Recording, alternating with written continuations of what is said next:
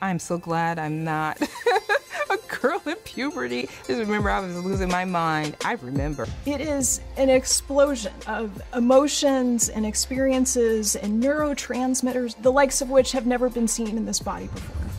It's really the body and the brain interacting to prepare that young lady for adulthood and for fertility and for family.